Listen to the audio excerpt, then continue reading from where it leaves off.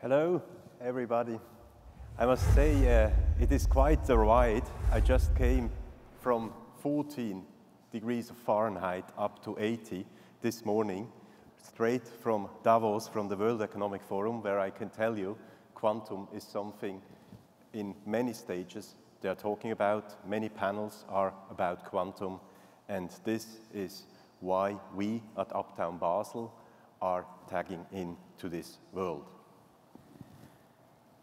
Imagine you've got the diagnosis cancer and your doctor knows exactly what treatment could help you.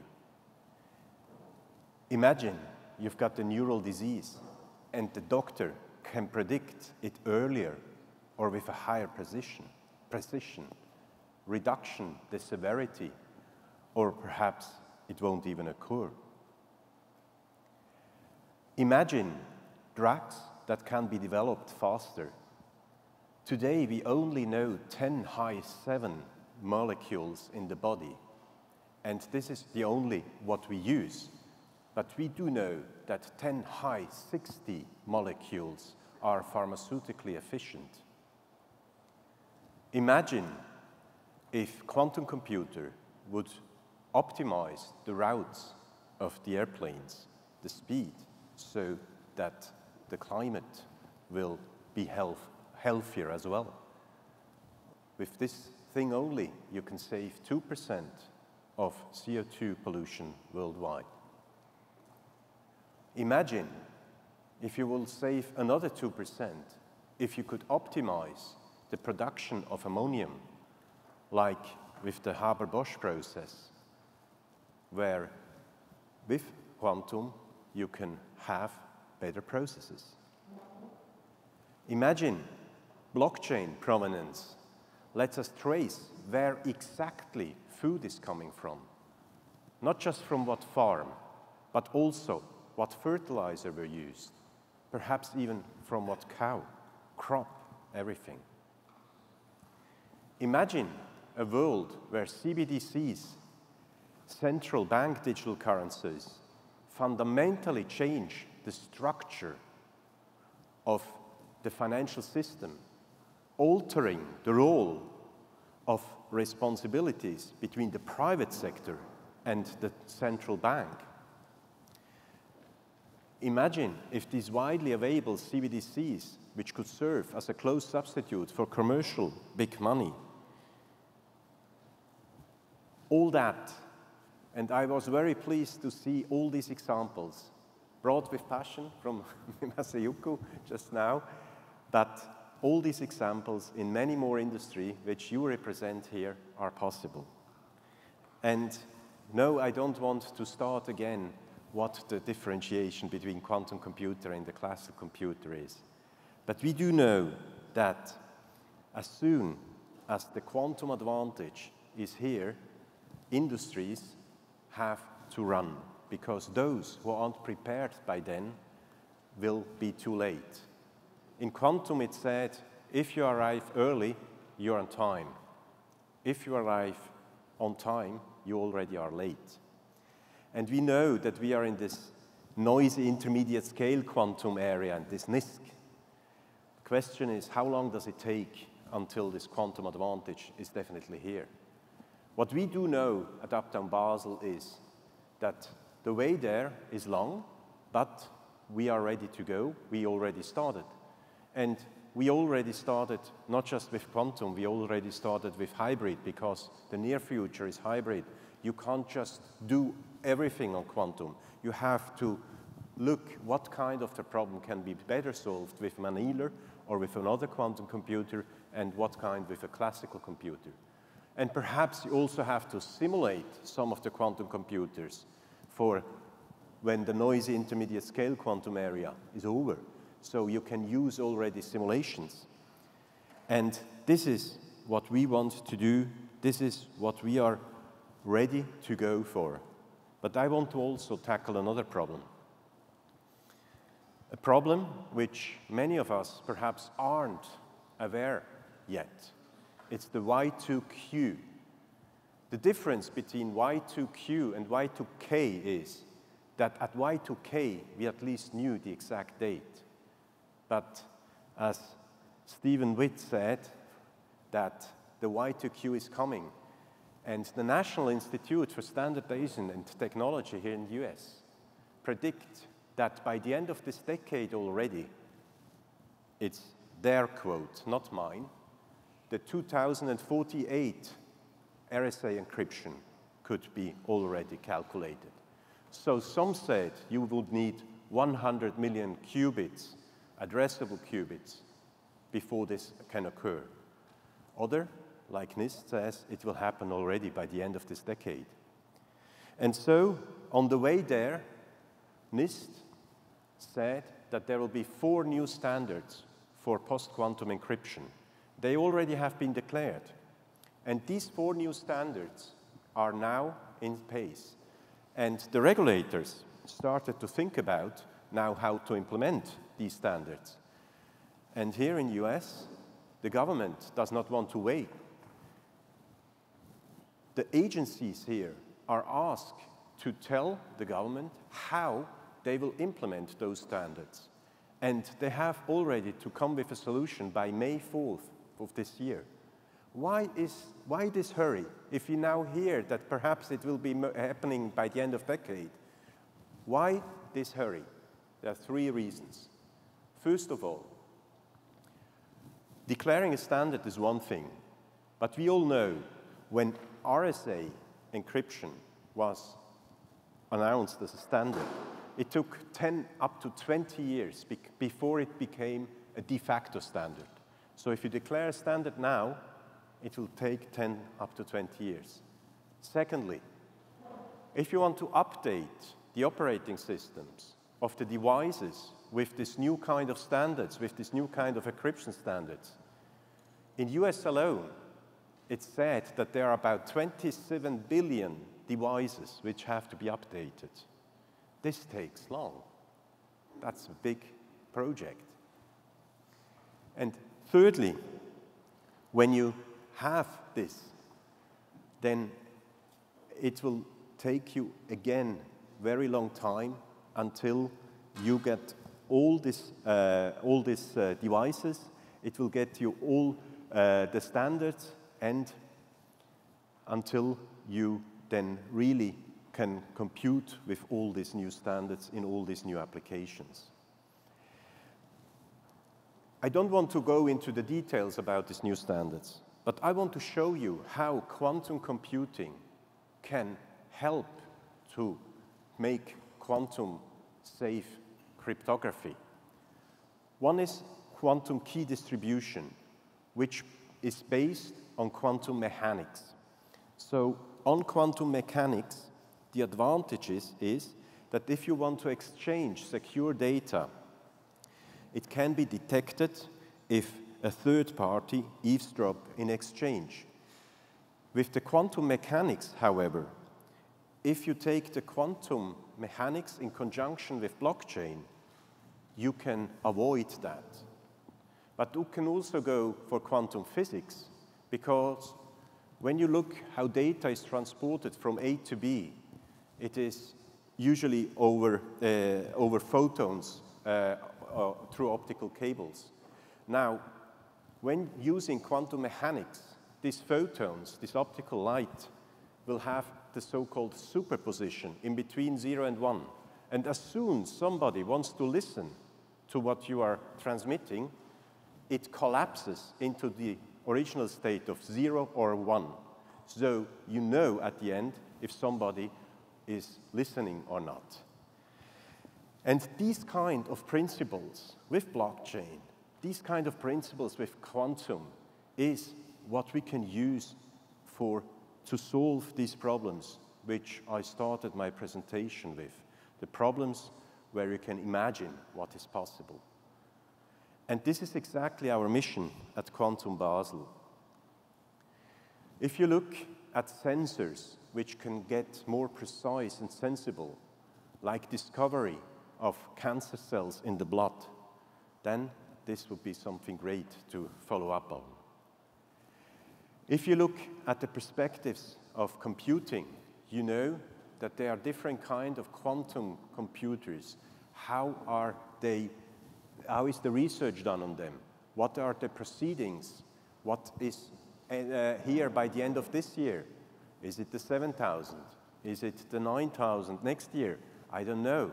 In other, in other computers, it's the 128, followed by the 433. It reminds me of the 90s when we had the 286 computer, then the 386, the 400, the Pentium.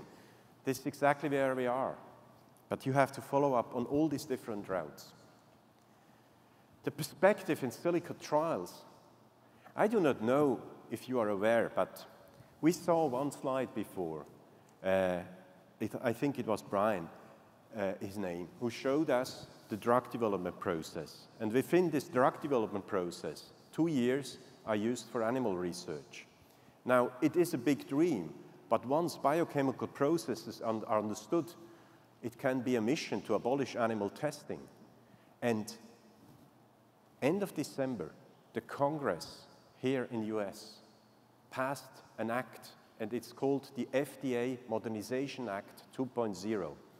Within this FDA Modernization Act, who was signed by Joe Biden just a couple of weeks ago, it said that now it is allowed to simulate or to use advanced technologies like AI or big data or similar something like quantum computing to simulate those processes within the drug development. That means that it isn't necessary anymore for drug development and is accepted also for drug development not to test with animals. This is, by the way, why we do have FDA offices as well on site in Basel. I come back to that. Now, genomics is one big thing, but I want to also tackle the protein folding, where we saw before this beautiful example where a small protein from 1910s, I think it was the drug, up to the, to the beast, which we can't simulate anymore. But if we can understand how a protein is folded, how the structure of a protein is. If then, by understanding it, we can simulate it. And this brings us then to personalized medicine. And this is our aim at Uptown Basel. I work a lot in Silicon Valley, roughly 20% of my time, so you know there's only one more thing. And this one more thing is our climate. Our climate, which, again, many things can be optimized. We heard about those processes, and many things of those optimization can help our climate to become healthier as well. So what is Quantum Basel? What is Uptown Basel Infinity? You see here a picture of Basel in Switzerland. In the back, right in the north, is Germany. A little bit on your left is France. So we are in the middle, in the triangle of those three cities. You see the new Roche Towers here in the back. And this isn't built yet. Some of the buildings are already here, some ain't. But this in the middle will be our high performance technology centers with Uptown Basel Infinity, the company I'm heading. We are an innovation campus who is completely privately funded. The investor, Thomas Staehelin and his wife, gave us half a billion Swiss francs to start with to see something happening in Switzerland in an Asian campus. And if you think, well, this is an entrepreneurial spirit, I can tell you, we are used for these kind of entrepreneurial spirits because the chimney you see here in the back is the first chimney where two engineers came together more than 100 years ago and they founded Brown Boveri & Company on this very site. So today's ABB, we say that ABB is called Arlesheim by Basel because our innovation campus is in Arlesheim. But this is a sideshow.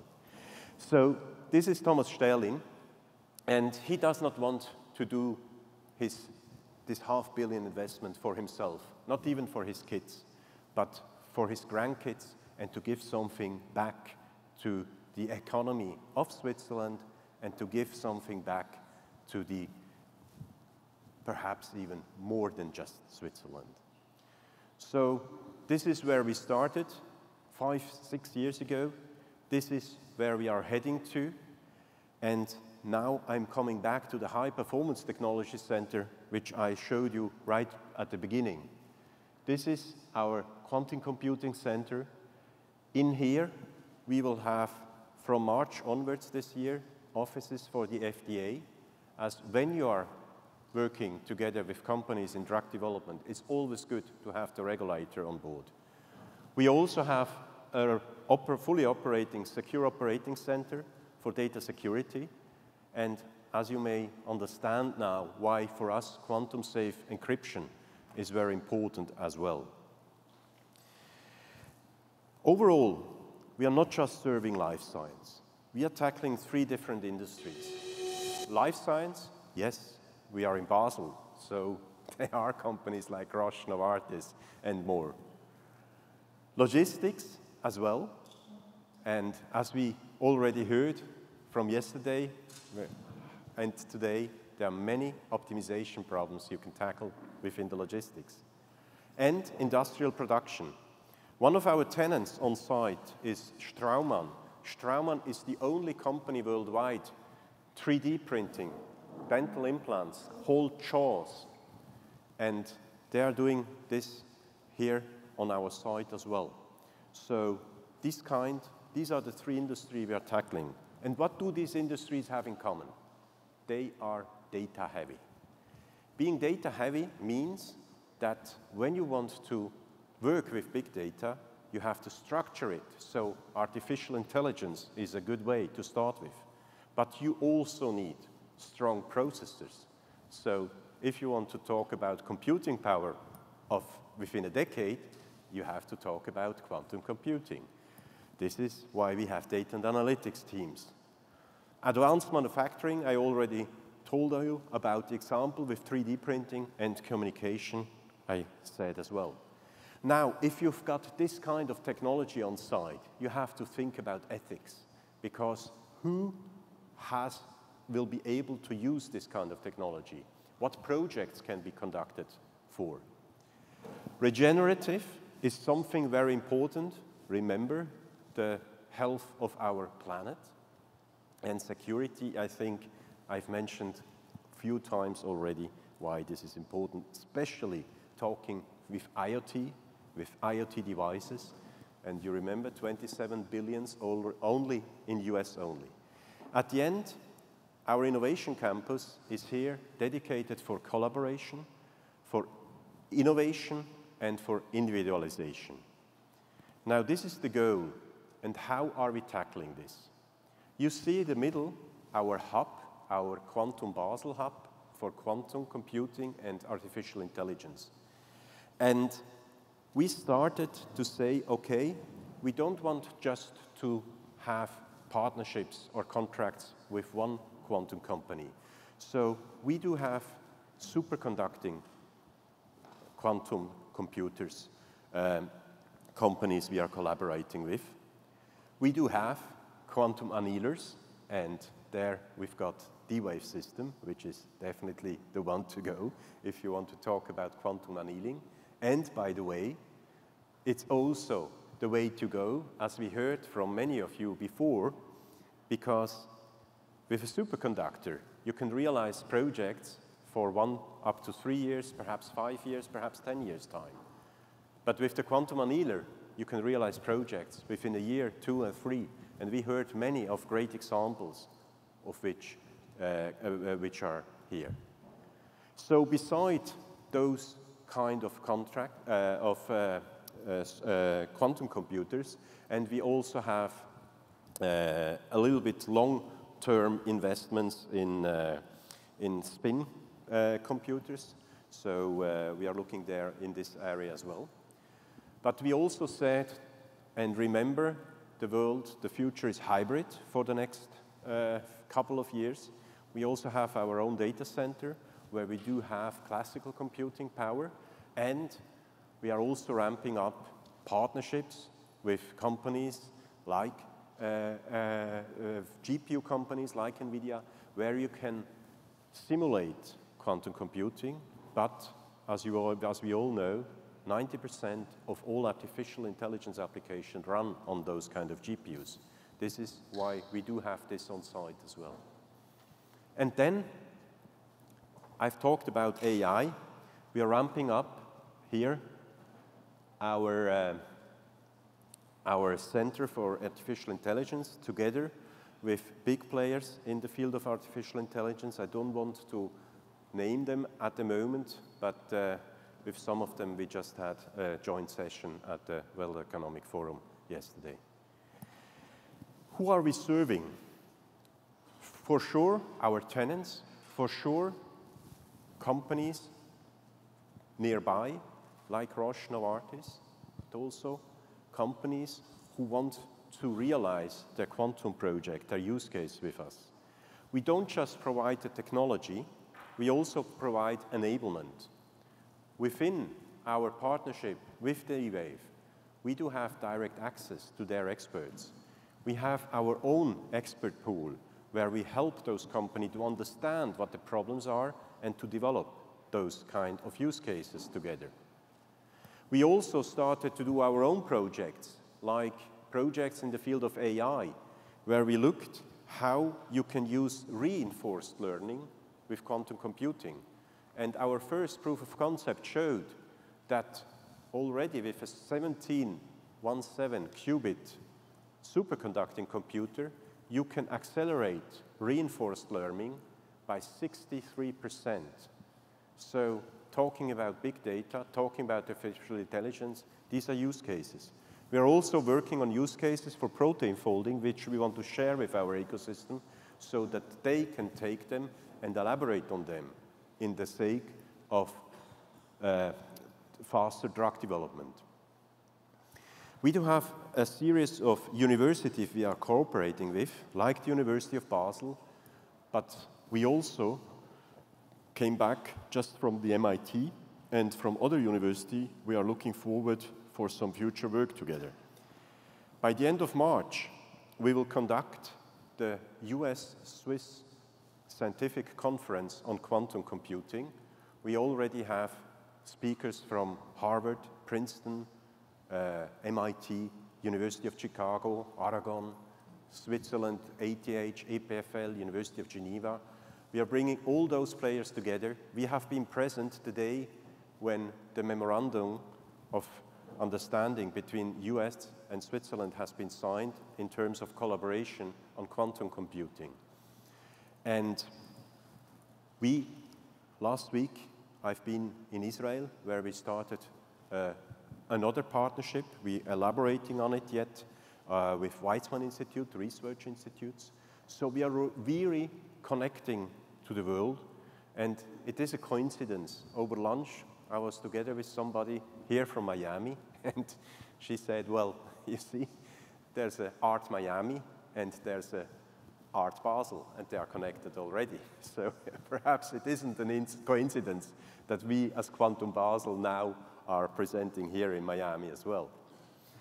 But I told you about innovation, and I did not mention the startups yet. We have, with Plug and Play, Silicon Valley Accelerator, Plug and Play looks at 17,000 startups yearly in 19 different verticals. We brought them to Basel, so they've got their physical presence there. They're looking for quantum startups for us and startups in the field of uh, sustainability. And we are ramping up our own fund where we are funding startups in the field of quantum computing. We do have there our own uh, lawyer services, company building services. This is overall what Quantum Basel represents. Our mission is to abolish animal testing, and we think that with the help of quantum annealers, with the help of D-Wave system, with the help of our partners, technology-wise, but with the help of our collaboration worldwide, where we are looking forward to. And I really like to connect with all of you. I'm sorry that I just arrived only today, but we hope that we will go get there. This is Quantum Basel. I like to thank you for your attention.